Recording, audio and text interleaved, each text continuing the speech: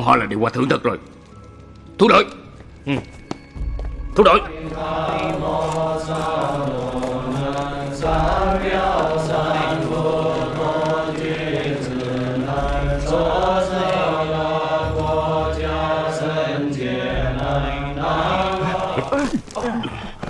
Lão sư phụ Không xong rồi. Không xong rồi. Sao vậy? Bọn quỷ muốn tàn sát thôn đó. Tàn sát thôn? Dạ phải Thôn Thượng Lưu 2 đến 300 nhân khẩu đều bị đuổi đến hương trường rồi. Bọn chúng còn cầm mấy khẩu súng nữa. Tại sao? Hôm nay tôi vừa đóng của về đến Sắp sửa về đến chùa. Phát hiện có xe quân của Nhật Bản Xông vào trong thôn rồi. Bọn chúng lục soát từng nhà từng hộ Vừa bắt người vừa cướp lương. Tôi cảm thấy rất lạ. Trong thôn vốn rất nghèo Bình thường mọi người đều nhờ củ mì rau cải sống qua ngày. Làm sao có lương trữ chứ? Sau đó tôi nghe nói Hôm qua Hôm qua có người ở khe núi Phát hiện một xe lương bị lật Mọi người chưa hỏi rõ trắng đen Đã ùa đến giật về Sau đó mới biết Xe lương này vốn là của người Nhật Bản. Chúng đã tìm kiếm mấy ngày nay rồi. Quảng Tế à Con muốn làm gì? Chuyện này do con gây ra. Con không thể liên lụy đến dân làng. Con lỗ mãn như vậy mới thực sự hại chết họ đó. Sư phụ Con không thể đứng nhìn dân làng Vì con mà đi nộp mạng. Con mau bỏ thứ đó xuống cho ta. Sư phụ Sư phụ! Quảng Tế Minh không à. Sư phụ! Con dẫn theo hai người Lập tức đưa nó đến chỗ của Lý Tướng Quân Dạ. Minh không. Dạ. Đưa áo cho ta. Dạ.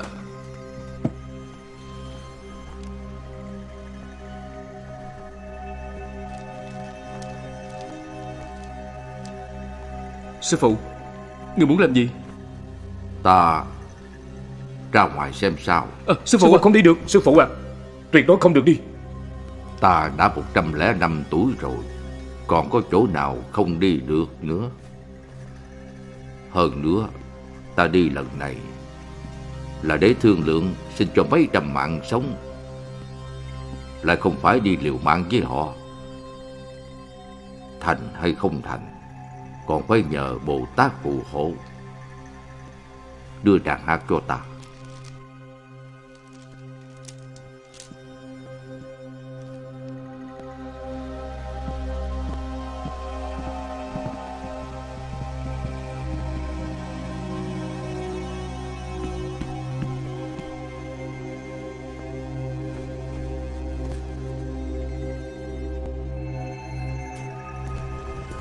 Nhanh lên. Đi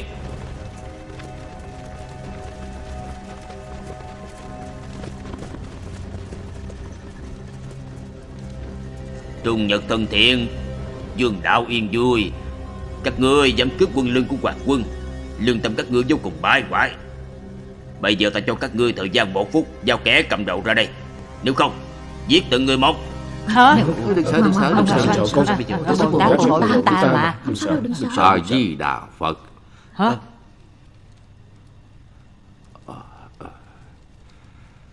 Dân trưởng lão, dân trưởng lão, dân trưởng lão, dân trưởng lão, của chúng tôi ơi, của chúng tôi mà. Ngươi là người nào? Ông ta chính là Hòa Thượng Hương Dân. Ở Trung Quốc và Nhật Bản đều có danh rất cao. Ừ, Lão Hòa Thượng Về chùa của ông mà đọc kinh đi. Ở đây không có chuyện của ông. Tranh chấp hồng trần Lão nạp vốn không nên xen vào. Nhưng các người lại muốn lạm sát vô tội. Người xuất gia không thể không hỏi. Bọn họ tất cả đều là thổ phỉ. Không Họ đều là ba tánh lương thiện. Nếu là ba tánh lương thiện Tại sao còn giết binh sĩ của ta Cướp quân lương của ta?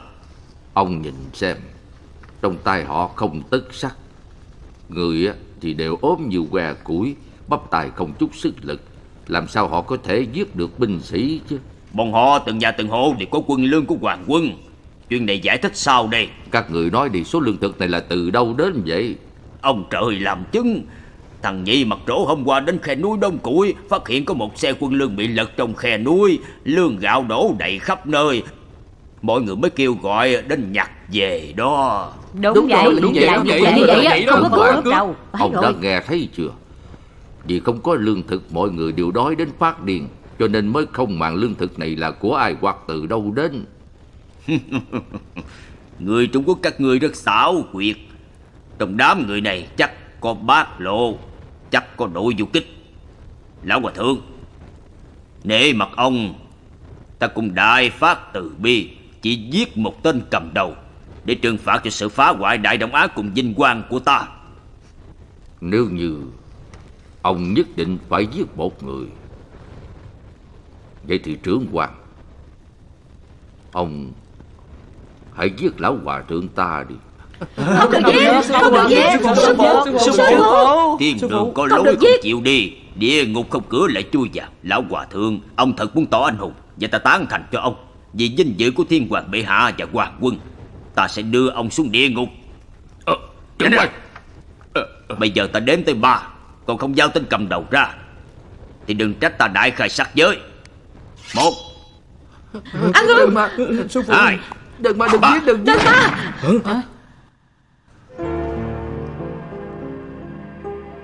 Trong tâm có phật. Tôi không sợ sương sa lớp lớp. Tôi không sợ cát đá trùng trùng tim Tập mạch tôi 13. và bạn cùng nhảy tâm linh tôi và bạn tương dung Một Ăn Đừng ương mà Sư phụ Hai Đừng mà đừng Ba. giết đừng giết Đừng mà Ăn ngô ngô, kìa ăn ngô kìa. Ai vừa nổ súng hả? Ăn ngủ kìa Ai vừa nổ súng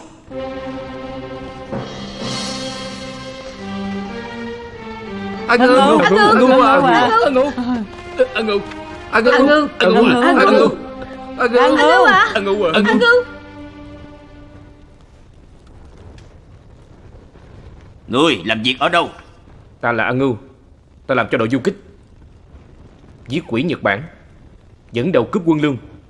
Đều do ta làm.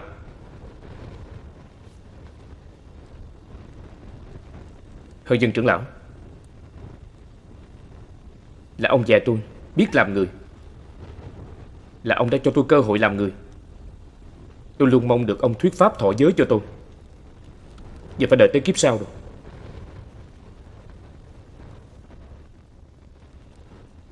Các vị hương thân A ngu tôi từ nhỏ đến lớn Nhờ ăn cơm bách gia. Ân dưỡng dục Không thể báo đáp. Các người Đều là cha mẹ Anh chị em Của tôi. Cô Mùi Cô Mùi Cô Mùi mau gọi cha đi. Mau gọi ba cha đi. Mau gọi ba cha đi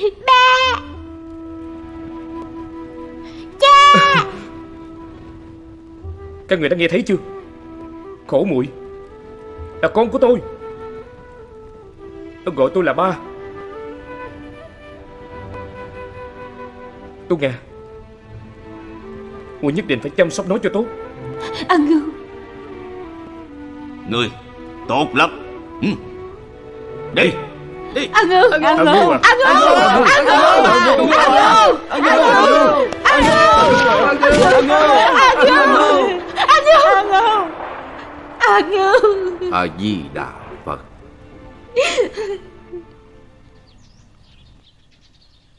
Ngày 15 tháng 8 năm 1945 Thiên hoàng Nhật Bản tuyên bố chiếu thư chấm dứt chiến tranh, đầu hàng với điều kiện nước đồng minh. Quân dân Trung Quốc trải qua 8 năm máu lửa chiến đấu, cuối cùng giành được thắng lợi triệt để trong chiến tranh chống Nhật.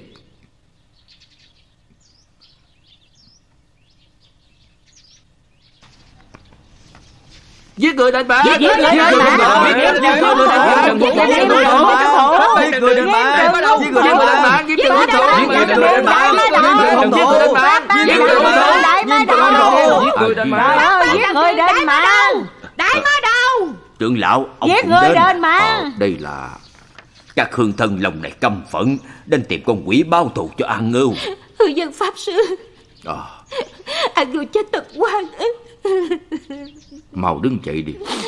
Ta biết Ta biết rồi. Vậy sao không để chúng tôi đi tìm đặng điền? Đòi mạng cho An ngưu chứ. Mạng của A Ngưu Đòi lại được sao? À, Trưởng lão Cả thôn chúng tôi đều kính trọng ông. Chuyện lúc trước An Ngưu nhịn nhục bị đuổi ra khỏi thôn. Bây giờ chúng tôi đều đã biết chân tướng. An Ngưu là vì cả thôn này mà chết Không giết đằng điền báo thù cho An Ngưu Mọi người chúng tôi không thể yên lòng được. Đúng đúng đúng, đúng, đúng, đúng, đúng, đúng vậy. Giết hại An Ngưu Tuy là một phát súng của binh Nhật Nhưng mạng của An Ngưu Đâu chỉ có một phát súng đó. Vậy Vậy chúng tôi cứ vậy không tính sổ chúng sao?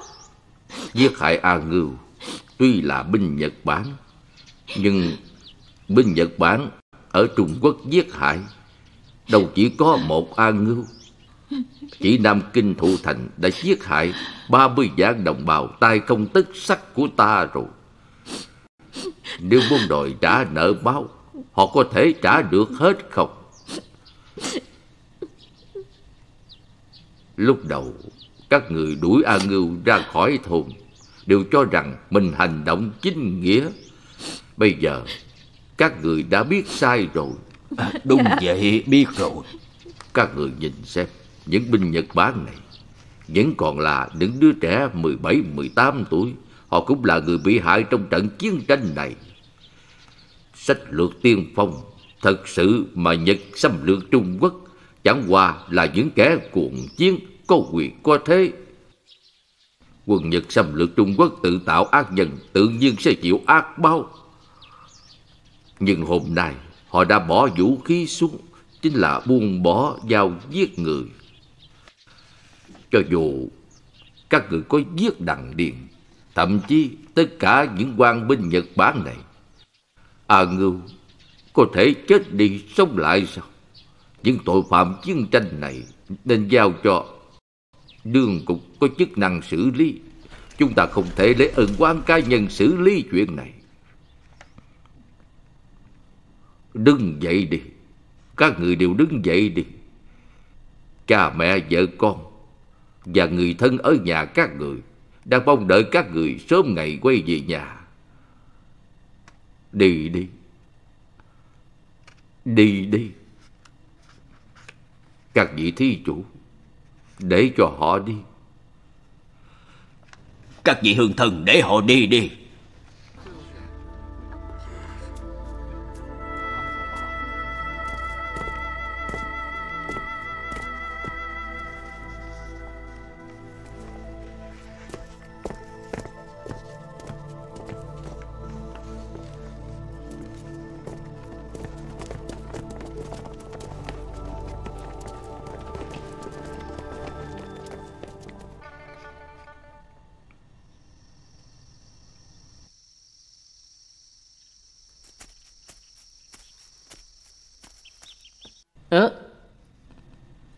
Sư phụ Sao thầy không ngồi xe ô tô đường dài vậy Ta thấy người đông chen chúc đã theo đường tắt thiều quan trở về rồi.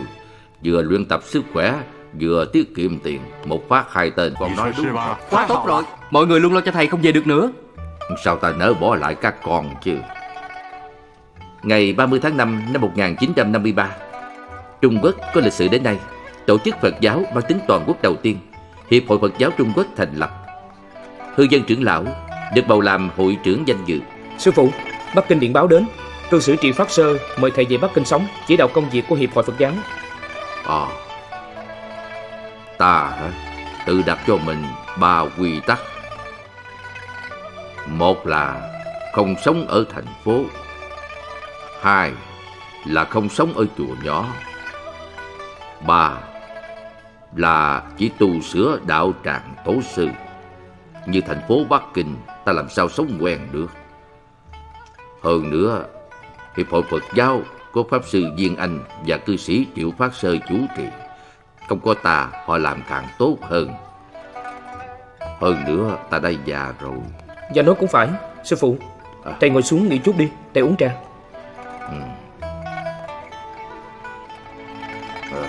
Ta cũng không thể ở mãi lộ sơn này mà phơi nắng tư qua.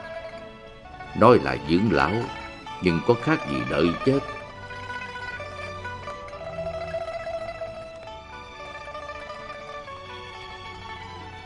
Ta còn muốn làm một việc. Đợi làm xong việc này, Ta cũng nên đi thôi. Sư phụ Sư phụ. Sư phụ. Sư phụ. Sư phụ Các người từ đâu đến đây Sao lại bái ta? Chúng con là từ núi dân cư đến. Nghe đại danh lão hòa thượng đã lâu Chưa có duyên gặp gỡ. Thầy từ bi quảng đại Cả đời xây hơn 80 ngôi chùa. Đó đều là những chuyện đã qua rồi. Ừ, Các người tìm ta có chuyện gì? Nhờ thầy chủ trì và khôi phục chân như tự ở núi dân cư. Chân Như Tử Đó là tổ đình của Tào Động Tông Chùa cổ ngàn năm mà. Khi người Nhật Bản xâm phạm Giang Tây, Thấy thế núi dân cư hiểm trở, Dễ ấn nắp đội du kích. Cho nên đã phóng hỏa đốt sạch chân như tự. Đến nay, Chân như tự chỉ còn là một đống phế dụng.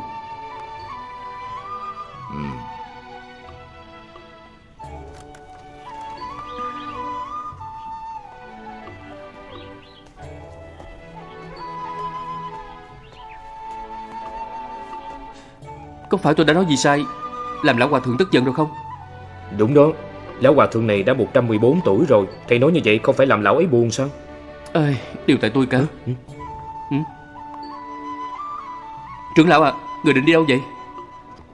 Không phải các người muốn ta đi sửa chân Như Tử sao? Nó đi là đi sao? Còn đợi cái gì nữa? Không phải nói đi là đi à? Ờ được được được. Vậy để con đem hành lý giúp thầy. Ê, Người xuất gia làm gì có nhiều đồ đạc như vậy Đi thôi. Còn không đi có người ngăn cản không đi được nữa đâu. Trong tâm có Phật. Tôi không sợ sương sa lớp lớp. Tôi không sợ cát đá trùng trùng. Tim Tập mạch tôi 13. và bạn cùng nhảy Tâm linh tôi và bạn tương dung. Di chỉ chân Như Tự Giang Tây núi dân cư. Đây cũng đều là duyên phận. Khôi phục chân Như Tự Lão Nạp cũng là nghĩa bất dung từ. Chúng ta trú lại ở đây đi. Ờ Sư phụ à Ở đây một Ừ. miếng gạch cũng không có. Làm sao ở đây được chứ? Ai, Trong núi có tre dại Dưới đất có cỏ tranh Chúng ta còn lo gì không có chỗ ở chứ? Chúng ta hãy ở chỗ này Dựng một nhà tranh đi. Được Sư phụ Ngài nghĩ chút đi. Những việc này cứ giao cho chúng con. Ừ, Vậy sao được? Con làm việc của con Ta làm việc của ta. Chúng ta ai trọng nhân của người ấy Ai tu phúc người ấy? Ờm, Làm thôi. Bây giờ chúng ta có thể khởi công rồi. Đi thôi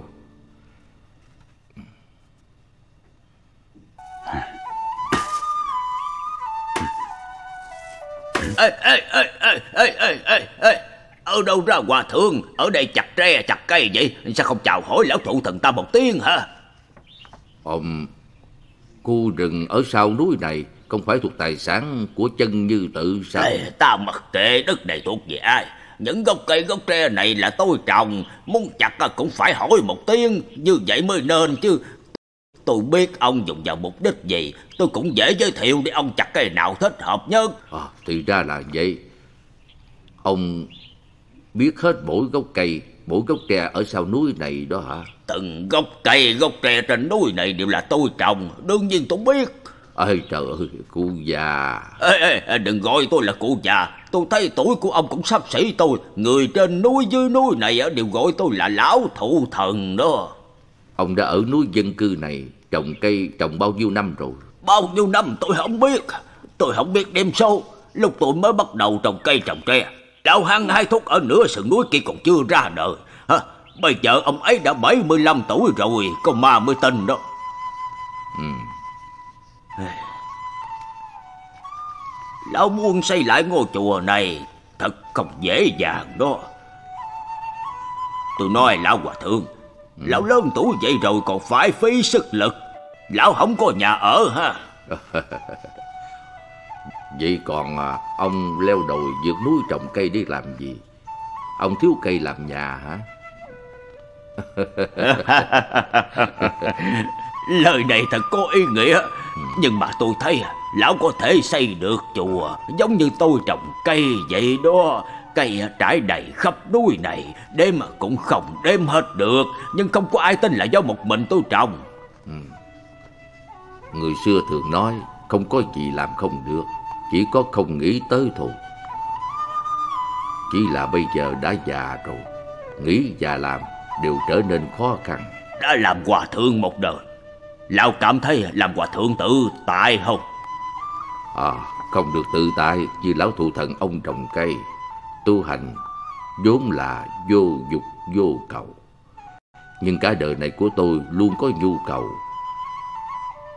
Vừa xuất gia cầu đạo. Ở động đa. Sau đó, vì cầu công đức cho mẹ Bái ngũ đại sơn. Sau đó lại vì cầu ý Phật Chạy đông chạy tây Bôn ba dạng dặm.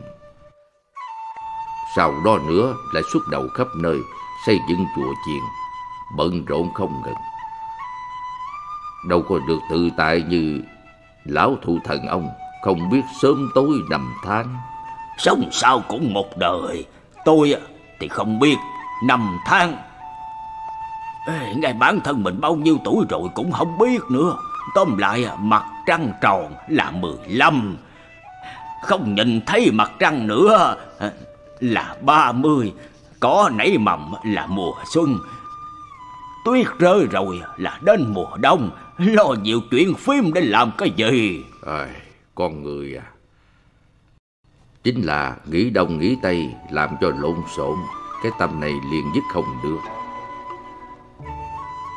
cho nên mới bị phiền não thị phi không dứt. Lão nạp ăn cơm Phật, làm việc bốn phận, cũng là vì muốn cầu được an tâm.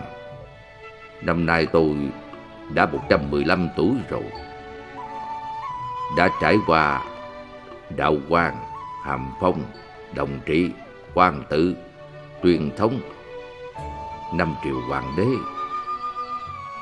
Dương Thế Khải sừng đế trương quân trỗi dậy Chiến tranh quân phạt Tám năm kháng chiến Bốn năm nội chiến. Tôi đã chứng kiến chiến loạn trăm năm của Trung Quốc. Nhiều cảnh đời thay đổi. Thần được thế gian hồng trần. Khiến ông không thể không nghĩ Khiến ông không thể không làm. Hey, hey, Khổ à Khổ à. Không khổ Không phải đời người mà. Ừ. Nói như vậy tôi không có đời người Tôi sống uổng một đời à, người. Ông cũng không sống uổng Không phải ông đã trồng nhiều cây như vậy sao? Còn trông coi núi sông nhiều năm như vậy rồi. Ê, Cái này thì có là cái gì Núi là núi sông là sông Đúng mà vậy Người lần đầu nhìn thấy núi và sông Sẽ nói rằng Ồ đây chính là núi, đây chính là sông. Sau này thấy nhiều rồi, hắn sẽ không nghĩ như vậy nữa. Núi vốn có thiền biến dạng quá, sông có dạng kiểu phong tình. Lúc này nhìn núi không phải là núi, nhìn sông cũng không phải là sông nữa. Sông núi này đều là tư tưởng của con người. Đợi khi đi khắp nghìn núi vạn sông Nhìn thấu những điều này mới phát hiện Thực ra núi vẫn là núi Sông vẫn là sông thôi Không có khác biệt gì Lão Hòa Thượng những lời này của ông là nói gì vậy? Tôi không có nói với ông nữa. Tôi phải đi đây. Ăn cơm. Vẫn là ăn cơm. Đi ngủ à? Vẫn là đi ngủ. Đúng vậy. Ăn cơm. Vẫn là ăn cơm. Đi ngủ. Vẫn là đi ngủ. Ở nhà tranh hay ở nhà lầu Cũng là ở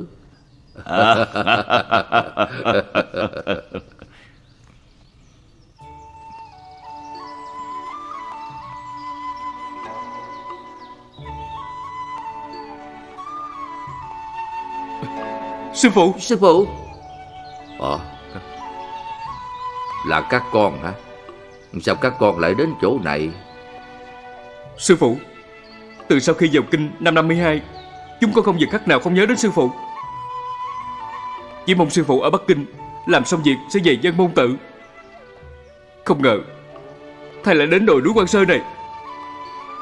Sống ở chỗ như vậy Chúng con làm đệ tử Thật sự rất buồn sư phụ à Ê, coi kìa, coi kìa. Lại làm thái tục đồ có phải không? À, Hai ngày trước Ta còn nói với lão già trồng cây kia Đi ngủ chính là đi ngủ. Ngủ ở đâu thì cũng như nhau thôi. À, Mau đứng dậy. Ở đây cũng không có gì để ngồi. Hay là cứ ngồi ở trên giường Hoặc ở dưới đất vậy hả? Sư phụ hành đạo như Bồ Tát. Nhưng vì Phật Pháp, Không thể không chú ý đến Pháp thể. Lão nạp nghiệp nặng, Nợ thế gian này quá nhiều rồi. Cuối cùng, Sống không ngàn tuổi cũng là sống uổng. Sống uổng không tính, Còn có tội lỗi. Cho nên là một vật sự cuối cùng Để tiêu nghiệp chướng. Lúc ta mới đến đây, Ở đây chỉ có bốn người xuất gia. Định là dựng một nhà tranh lớn, Mọi người cùng ở. Nhưng mới chưa được mấy ngày Là có mấy chục người xuất gia đến.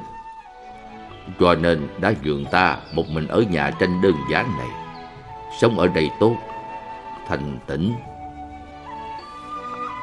Các con đến rồi Thì ở lại vài ngày, Cũng tiện giúp ta một tay. Sư phụ hạ tất phải khách sáo như vậy. Chúng con ở lại làm việc. Không phải giúp ai Mà là tôn phước cho mình. À, Được được. Vậy à, bắt đầu ngày mai. Giúp ta làm việc đi ha.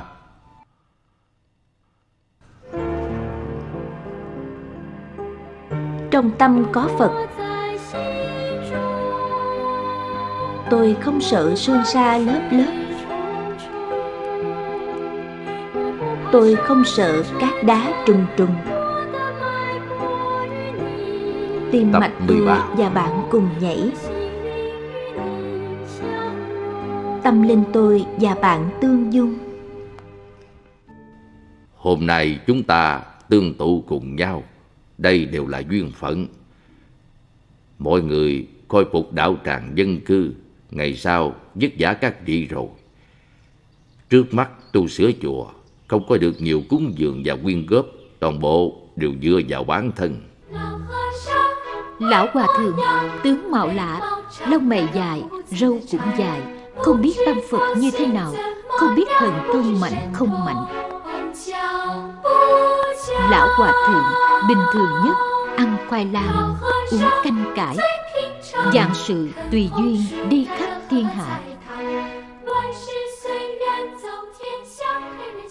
Các vị đại chúng sư phụ, Nhà tranh của ta đã dựng xong rồi. Hôm nay, Chúng ta tương tụ cùng nhau. Nhờ chư vị Phát tâm Cùng ta dựng lại đạo tràng tổ sư. Hơn năm năm nay vất vả cực nhọc. Trần Dư Tự xem như đã khôi phục lại được rồi. Chùa xây xong rồi.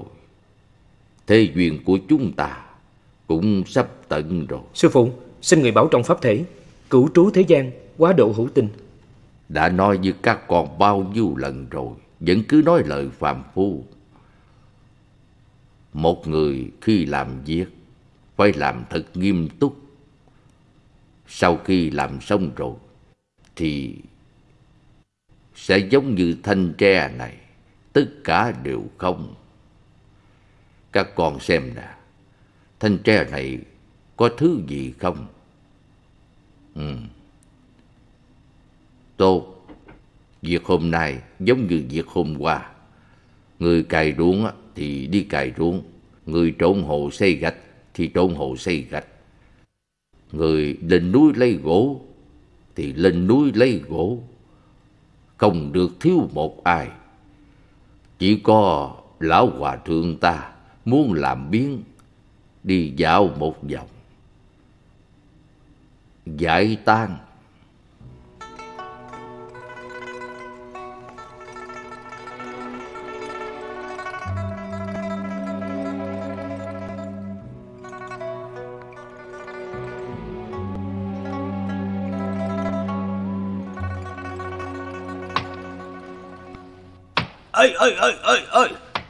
lão hòa thượng lão hòa thượng.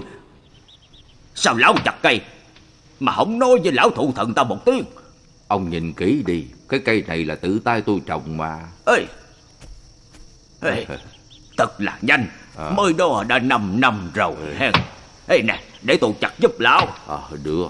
Ê ê ê! Ê. lão thụ thần à? Ừ. Hey. Lão thụ thần. Cảm ơn ông. Sau này có ngày gặp lại. Ê, Lão đi như vậy sao? Tài không đến Tài không đi. Tôi có thể mang được gì? Cũng không để lại thứ gì cho tôi à, à Được. Tôi để cho ông một bài thơ. Thiếu tiểu ly trần Biệt cô hương. Thiên nhai dân thủy lộ mang mang Bách niên tuế nguyệt thùy thùy lão, Kỷ độ thường tàn đắc đắc vọng, Đang giao quần mê đăng giác ngạn. Cảm tự di mệnh nhập lư thang. Hôm nay ta mời các con đến Là có một việc muốn căn dặn các con. Sau khi ta chết các con hãy mang xương cốt ta nghiền thành tro Dùng dầu đường bột Làm thành một viên nhỏ Quăng xuống dưới sông Để cúng tộc thủy kết duyên. Để thỏa mãn tâm nguyện cuối cùng của ta. Sư phụ à Sư phụ Xin người gì Xin người gì Pháp? Cửu trú trú thế gian. Cứu thế gian. Ta đã sống được 120 tuổi rồi. Còn sống lâu gì nữa sống lâu sẽ làm mệt mỏi người. Một đời ta đã chịu hết các gian nan. Chỉ muốn giúp trồng nước, bảo tồn đạo tràng phật tổ, giúp chùa chiền, thủ thành quy đức tổ, giúp người xuất gia gìn giữ chiếc áo cà sa. Các con sau này nếu có ở tứ phương, cũng phải kiên trì giữ gìn chiếc áo cà sa này. Làm sao mới có thể gìn giữ được? Mãi mãi, chỉ một chữ thôi, đó chính là giới.